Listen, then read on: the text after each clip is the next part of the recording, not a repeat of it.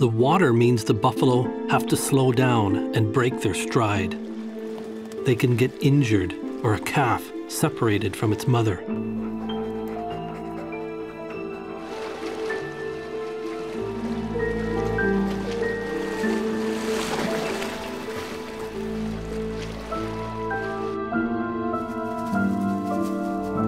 For some reason, Storm and his offspring are letting the buffalo go.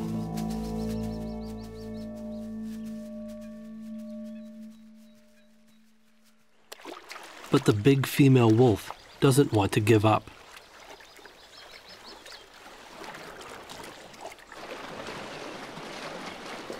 And it looks like she's seen something the other wolves have missed.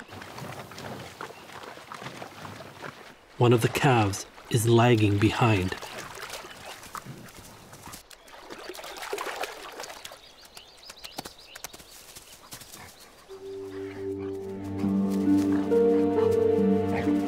Even with the calves, the wolves find it difficult to make a clean kill.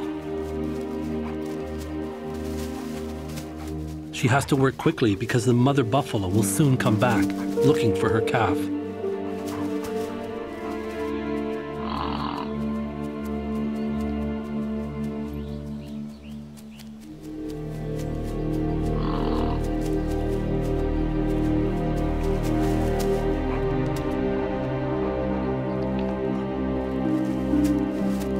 If the buffalo can get back in time, there's a chance she can still save her calf.